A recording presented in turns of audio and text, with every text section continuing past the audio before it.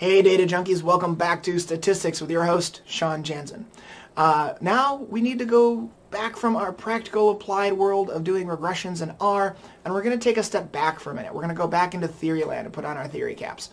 So in this case, in this video, we're going to be looking at the assumptions for ordinary least squares.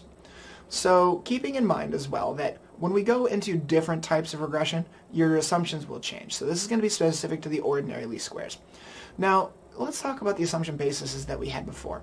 Our model was some value of y equals an intercept value plus a coefficient times x plus some amount of error. We could also talk about that in terms of how much we could fit plus the residual. We could say that's how much we could predict plus the residual. Or if you want to put it more of a layperson's terms, what we know plus what we don't. All right? And we said before that E, or your error, that's a, population error term, and a residuals is a sample error uh, observation term, just to kind of keep things straight in case we come across this. Now, when we're dealing with these assumptions, the predominant goal here is that we're going to be looking for patterns.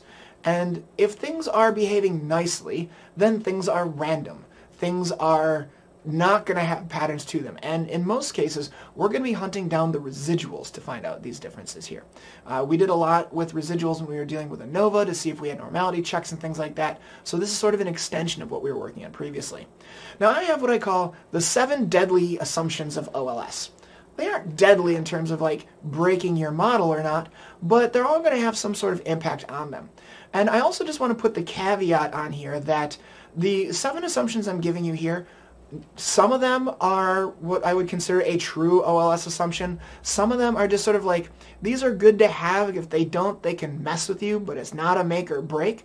But I, I want the asterisk because I'm going to continue to say that if you take your stats learning uh, deeper and farther to take additional courses, depending on the courses you take and uh, how far you go into regression analysis, you're going to learn that some of these assumptions I'm telling you here can be expanded upon, tested differently, uh, and contain other like assumptions within them. So if you're out on the internet and you're reading things across and you find that some assumptions don't quite what I match here, keep in mind there that I'm kind of giving you the surface level here so we don't go have to too far down the rabbit hole, okay?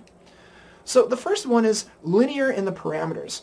That is fancy stats talk if I ever heard it. What it means is that the linear model that we're building here, your coefficients themselves, your b's, should not be exponentiated, divided by other scores, or otherwise transformed. We can do that to our variables, our x's, but we can't do that to the b's. If we do that to the b's, we are no longer linear in the parameters of the model that we are building. So this is not something that we need to like do a check on with uh, in terms of like using R. We just need to make sure our model's set up that when we put our variables in, that the vari not the variables, but uh, the, when we set it up to get the regression equation, that we are not intentionally manipulating to get our b's transformed in some way. The second one is talking about right variables. This wants to make sure that the variables you're putting into your regression model itself are following the rules that we have for ordinary least squares regression. Again, this is one of those that are sort of the softer ones here. So it is the assumption that your dependent variable is interval ratio. You can squeak through the ordinals with five or more categories to pretend and masquerade as if it's uh, interval ratio. Your independent variables must be interval ratio as well. They have to be numeric. But we can also pose as numeric. Posing as numeric allows us not only to get those high category ordinals, but allows us to also use those binary independent variables as well. Those are the naturally dichotomous or nominal and low category ordinals that we have recoded into becoming dichotomous there. So either way, that meets the assumption. How do we check that? Know your data. Know what kind of variables that are going in, know how they're coded, know how the levels are working out. And if you fail this particular one, you could possibly have a bad model fit. You might not be using OLS appropriately, or OLS might not be the appropriate model for you, and you may be modeling something that's nonlinear or should be nonlinear. The third one is normally distributed errors. So that's talking about the residuals have to follow a normal distribution. This comes directly out of what we were talking about with the ANOVA lectures previously. So when we're talking about these, this is the error, the stuff that you don't have, and we can check on this by doing a fit value, model fit, those are your predicted values, compared to the residuals, and see if they have a pattern. One way you can do this is with using a QQ plot, or less ideally you can plot it out with a histogram, but QQ plots are the better choice here. And violating this assumption means that the coefficients you're going to generate, they're still going to be okay, but your standard errors could be off, which means you're going to get a less reliable hypothesis test and less, re less reliable confidence intervals. Remember, if your standard errors are off, standard errors get divided into your coefficients, which give you your t-scores. T-scores determine your p-values. So if anything happens to your errors, that's going to throw off your ability to do hypothesis testing and generate intervals around uh, your coefficients as well. No influential outliers is our next one. And again, this is one that's not an official assumption, but having outliers can still mess with your regression. How can you find your influential outliers? Now we know there's outliers, and then there's something called an influential outlier, which is where this is going to pertain to. We find them by using a special plot called a leverage versus residual plot. And by the way, these specialized plots that we're talking about, I'm going to be talking about these in the diagnostics lecture next. So don't worry right now if you have to go look up what is this thing. I'll get it for you, but we, we find the influential outliers with this particular kind of plot. And the plot is going to mark off for you. It's going to show you pretty clearly which ones go past these influential thresholds uh, and possibly other things that we need to consider. Violating the assumptions means that we could potentially have biased estimates here, right? Those are biased parameters. That's not good. And it also could bias your standard errors, which is the sums of squares, the regression hypothesis testing, etc. So what that's saying is the regression line that's going to fit through your data points uh, is not ideally where it should be uh, if your outliers are causing too much trouble. Homoscedasticity, that's the fifth one. Now, that's a fancy stats word, so let me say that for you again. Homoscedasticity. Compare that to heteroscedasticity. Homoscedasticity means that the variance of our errors are constant. They're generally the same. Where heteroskedasticity means that they are not. They are non-constant. This is where we're going to use a specialized plot called a model fit versus residuals.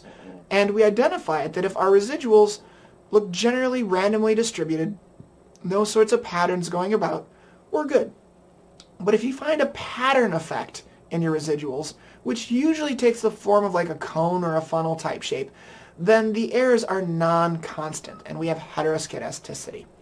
Having this particular assumption failed, violating the assumption, means again that you're going to have less precise estimates and your significance tests are going to be biased. Your, coefficient, your coefficients will be fine, but the standard errors and the hypothesis tests could be off. The sixth one is that your errors are independent. Now we always like to have independent data, and I didn't list that one here because we already have seven to worry about. But generally speaking, you want to have independent data. But in this case, we're talking about errors are independent. Your residuals are independent, which means that they're not going to be related to your independent variables that you're using.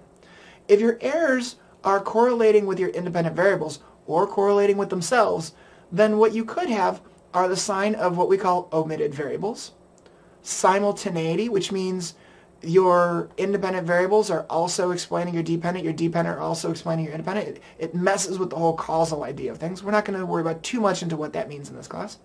Uh, you might be using the improper model. The variables that have been measured could have been measured incorrectly, or you could have some sort of other errors that are presenting themselves, uh, issues that are presenting themselves in your errors.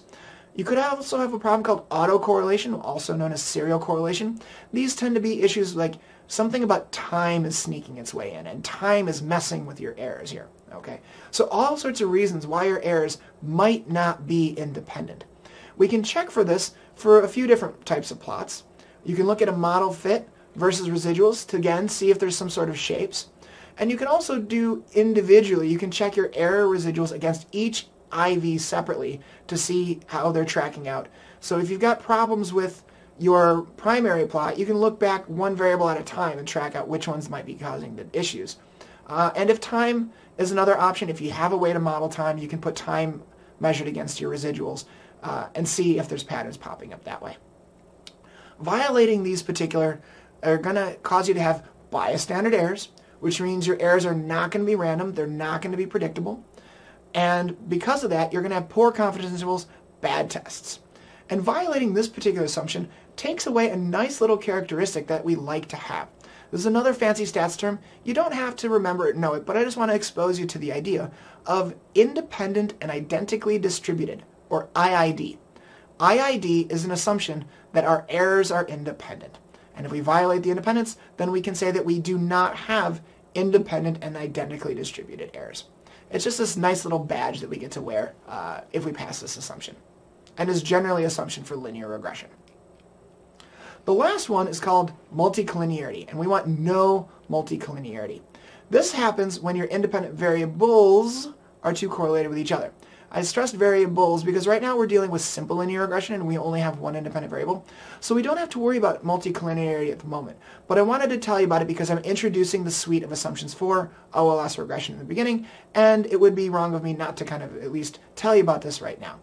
Now, we're going to come back to this when we get to multiple regression for sure. But the problem that goes on here is that if you have problems with multicollinearity, OLS can't figure out which of your independent variables uh, it should be using when they become too correlated with each other and it affects your model precision. So just some other rules of thumb, these aren't strong assumptions, but things we might want to keep in mind is that your primary IV should correlate with your DV.